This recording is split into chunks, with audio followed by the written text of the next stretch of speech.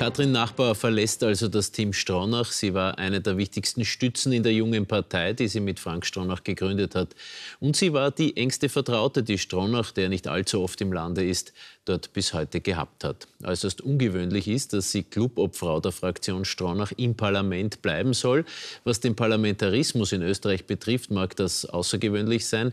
Nicht für die Abgeordneten des Teams Stronach, wie formuliert das heute einer, es passe zum Gesamtsetting der Partei.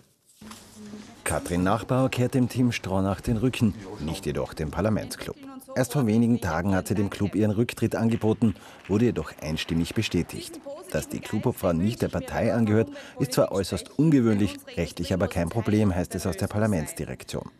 Die Woche hat Katrin Nachbauer mit einer erfreulichen Nachricht begonnen. Ja, ich werde Mutter, ich freue mich schon sehr darauf. Obwohl Nachbauer als engste Vertraute und Statthalterin des milliardenschweren Parteigründers Frank Stronach gilt, kommt die Nachricht über bevorstehende Mutterfreuden für Stronach offenbar überraschend, als er am Dienstag am Rande eines Gerichtstermins davon erfährt.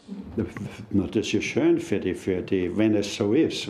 Wer, wer sind das Gerüchte oder, oder ist das allgemein bekannt? Gestern wird schließlich bekannt, dass Stronach seiner Weggefährtin zuletzt die jährliche Gage von 200.000 Dollar gestrichen hat. Als Abgeordnete und Parteiakademieleiterin hat Nachbar aber immer noch rund 12.000 Euro Monatseinkommen. Das Verhältnis zwischen Stronach und Nachbar dürfte sich zuletzt etwas abgekühlt haben, nachdem der Ausdruckkanadier noch vor einem Jahr gemeint hat.